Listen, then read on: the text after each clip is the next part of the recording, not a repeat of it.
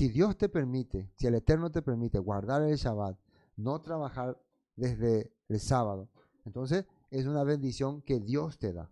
Eso no te da derecho de que vos le estés juzgando o criticando o menospreciando al que tiene que hacer las cosas para sustentar a su familia, para pagar sus cuentas y para vivir. No te da a vos derecho de hacer eso.